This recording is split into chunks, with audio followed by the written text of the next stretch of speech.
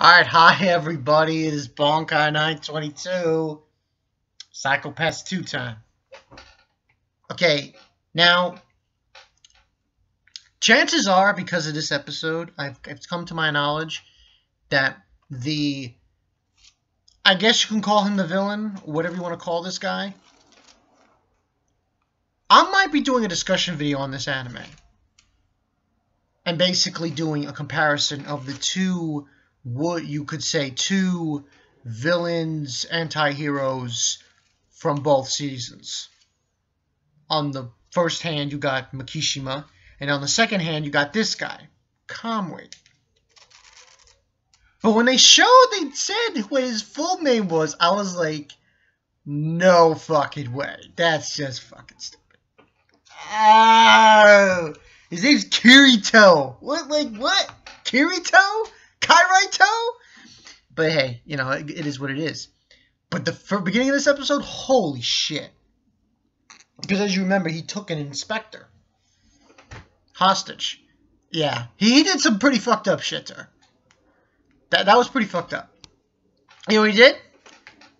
Took out her fucking eye and had her eye looking at her. And then had the Dominator strapped in front of her, pointing at her while she's holding onto the trigger. That was so fucked up. But I like this episode. This this episode um gives us some more interesting details. You know what I'm liking a lot? Togane, the enforcer who is let me close my door. Um the enforcer who apparently is new. Well, there's Togane and there's this other guy. But I really dig Togane. He um we also find out that he has like the highest co crime coefficient ever. That blew my mind. But now let's some interesting details. Now, this guy Kamui, he basically what he's doing, I'm noticing this because it's really shown in this episode. He's making everyone, you know, the hero, you could say, by, you know, dropping their. See, what he's doing is he's getting everyone's psychopaths lowered to the point where they're invisible, literally. Now, he's not the same as Makishima because here's the thing: Makishima well, it's sort of the same. Makishima, he couldn't be judged by a Dominator, by Sibyl, the Sibyl system. The same thing could be said about this guy, but what this guy is doing is he's going around and he's making people like him, essentially. He's dropping their coefficient all the way down, so they're like invisible. So he's like getting like a cult following going on here. Now, um, and basically what happens towards the end, we find out. And another thing I'm a little sick and tired of is this other inspector, Mina, whatever fucking name is. She's she's getting on my nerves. Like to the point where I say, okay, if she dies, I give no fucks. Get that bitch out of here, because she's very fucking annoying.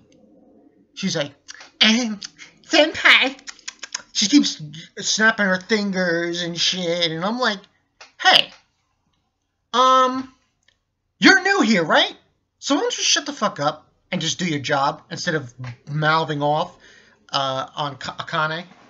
Like, back the fuck up, bitch! She's a real bitch. She really is. She's very bitchy. She keeps complaining to Akane. Like, jump the fuck off. But overall rating, I have to give this 4.5 out of 5. Now, we'll see how this goes, but he's turning everyone, their, their coefficients all the way down and he's like, I'm gonna be like Kamui. And you think about that name, Kamui. That name just spills holy shit all, all over the place. Because I believe Kamui means God. So, and it's just it's just in your face. It's like, God damn, that's such a badass name. But his first name is Kirito. Uh, I, I can live with it. I can live with it. But Um, this is going in a good direction. I, I did not expect that this is what was going to go down in Psycho-Pass. I didn't expect that this new villain, or anti-hero, if you will, was going to go down this path. Like he was gonna, he was gonna do all these different um, scenario-listic things, all these different things that, uh, you know, it's not. And here's the thing, like, he's fucked up in a way, but when you think about it, he's kind of doing them a favor. I don't know, I know, I don't want to support, you know, support it, but like, he's dropping everyone's coefficient down. He really is. He's he's helping them. So it's like, you know, he he makes it in a way. And also, what I noticed from this guy from from this episode is he's trying to get some people, I guess you could say, inspectors, take rip them away from the Sibyl system. So, uh, and I don't think he's going to be the same like Makishima, because Makishima really took in the action forward, and he went really crazy with what he was doing.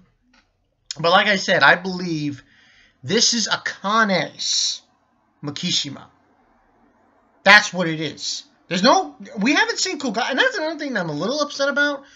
Hopefully we see Kogami. Hopefully he shows up down the series, but we haven't seen him yet. And I'm thinking to myself, is he dead or not? But supposedly he's supposed to show up, so I'm I'm I'm taking that to the effect. But this guy is definitely Akane Shiki Makishima. He's he is similar to Makishima in some ways, and she's obviously going to have to figure out how to stop this guy, how to stop what he's doing and everything. Even though you know I got no qualms about it, he's bringing down people's coefficients, but at the same time they're all cuckoo because now they're like, I'll be a hero for Kamui. This is old guy. He's beating the shit out of this, the one from second division. I'm like, God damn. that was fucked up. But good episode, four and a half out of five. Um, you see like the influence. This Kamui guy is no joke. He's influencing. He already influenced like two people. So, you know, it keeps going. Keeps fucking going. Also, I forgot to mention, I really liked it, this part in this episode. The guy from season one, you know, the, the, the guy who helped out Kogami and everything, he showed up. Um, we see him in uh, prison, an isolation chamber, and he's talking to um, Akane. Uh, he's in the isolation chamber apparently because he helped out Kogami. Well, he actually went there himself because he helped out Kogami. So that was the whole bit on that. But yeah, that's pretty much the story. Bankai 922. I will see you guys later. Other reviews to come up are Magi and One Piece, and I'm going to upload a Kame chapter.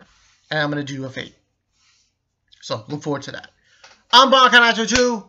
I will catch you guys later. Kamui. I'm not to mention his first name because his first name is gay! hey. Hey. Kairaito is not appreciative in this scenario. Kamui? Yeah. Kai, Kai, Kirito? No, no. no. Not that shit. See you guys later.